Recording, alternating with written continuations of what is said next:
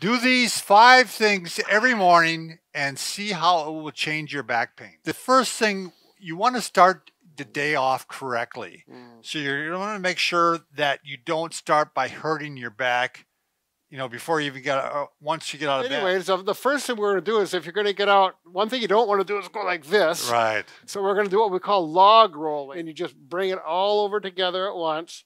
This hand is going to be here to help push. This elbow is going to help push your trunk up. Pretend again that your body is like a log.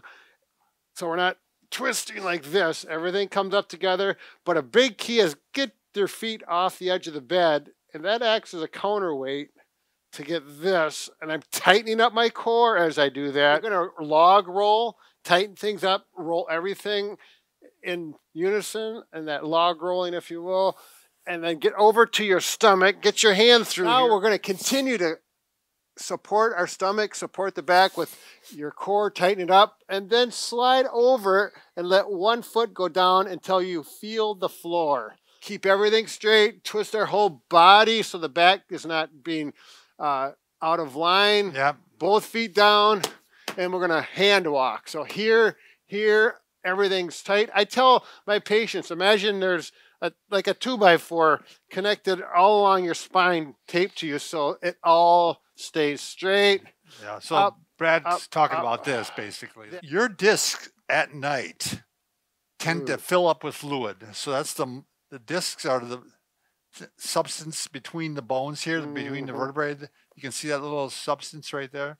These fill up with fluid, and that's the way they get nutrition. Then during the day, you compress down on it, Yep. and it, it, the fluid goes back out again or gets back to Right. normal level. When So- you first get up, until you start walking around and start squishing some of that fluid out, your back is really vulnerable. So you you don't want to bend over for the first hour or two. That's why you don't want to bend over and put your shoes on. You- Sure. You, you want to have something you can slip on, Mhm. or you bring it up to you. Right. Uh, baseball player stance, you know, like they're like this Yeah. in, the, in the infield.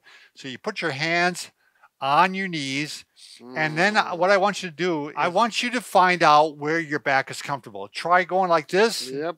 Oh, no, that hurts. Try arching. Oh, that hurts. Gotta arch. So I'm going to go right in the middle, We'll call that a neutral. a neutral. And that, oh, that feels pretty good. hmm That's the position you want to be for lifting. So now the other thing I want you to do is I want you to unshrug your shoulders, pull them down Yeah. like that.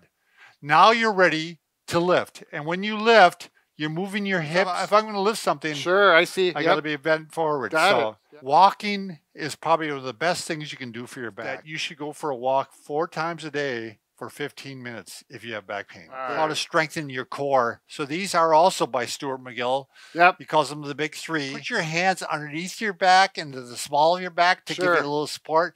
You raise up the elbows because you don't want to be pushing down with the elbows Yep. here. And and then I just you can actually just lift up like this. So the shoulders are coming up Yep, I'm not going like this. I'm lifted up like this. here.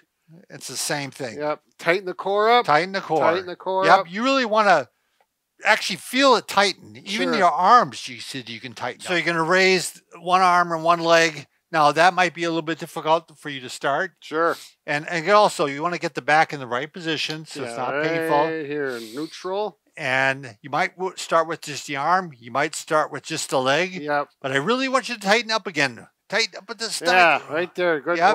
Boy. Yeah.